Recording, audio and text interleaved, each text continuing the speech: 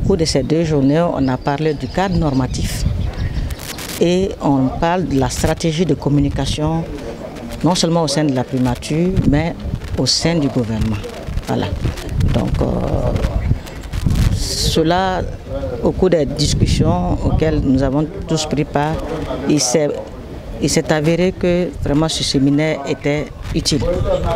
Il était très utile pour permettre à, tous les membres, c'est-à-dire à, tous les secrétaires généraux d'avoir une même vision de ce que d'abord c'est que la stratégie de communication, parce qu'il s'agit de la communication institutionnelle, pour avoir une meilleure compréhension et que de aussi harmoniser la manière de porter l'information, structurer la manière de structurer l'information parce que au cours de, la séance d'aujourd'hui, il est ressorti plusieurs fois pour dire nous communiquons souvent euh, peu.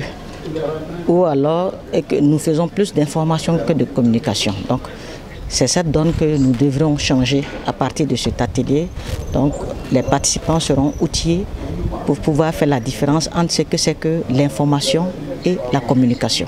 Sans cela, vraiment, l'atelier est très utile. Et même le cadre normatif du gouvernement, on ne peut pas parler de ce cadre sans parler de la communication, parce que quand même la communication, c'est le vecteur, c'est le courroie de transmission de cette information.